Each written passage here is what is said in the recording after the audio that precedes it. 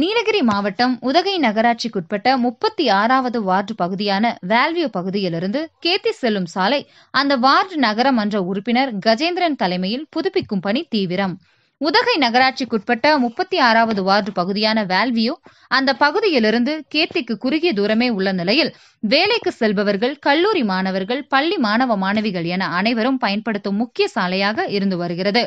ஆனால் மூன்றாண்டு காலமாக அந்த சாலை குண்டும் குழியுமாக காணப்பட்டு எந்த ஒரு வாகனமும் அந்த வழியாக இயக்க முடியாத இருந்த நிலையில் முப்பத்தி ஆறாவது வார்டு நகரமன்ற உறுப்பினர் கஜேந்திரன் ஆய்வு மேற்கொண்டு அந்த பகுதி மக்களிடம் கலந்துரையாடி பின்னர் உதகை நகராட்சி ஆணையாளர் காந்திராஜன் அவர்களுக்கு தகவல் தெரிவித்து அவரும் நேரடியாக ஆய்வு மேற்கொண்ட பின்னர் உதகை நகராட்சி ஆணையாளர் ஆணையின்படி சுமார் ஒரு வார காலமாக சாலை புதுப்பிக்கும் பணி அந்த வார்டு நகரமன்ற உறுப்பினர் கஜேந்திரன் தலைமையில் சாலை புதுப்பிக்கும் பணி தீவிரம். இதனை கண்ட அந்த பகுதி மக்கள் பல்வேறு பணிகள் அந்த வார்டு பகுதியில் நடைபெற்று வருவதால் அந்த வார்டு நகரமன்ற உறுப்பினருக்கும் நகராட்சி ஆணையாளர் நகரமன்ற தலைவர் நகராட்சி பொறியாளர் என அனைவருக்கும் பாராட்டுதல்களை தெரிவித்துள்ளனர்.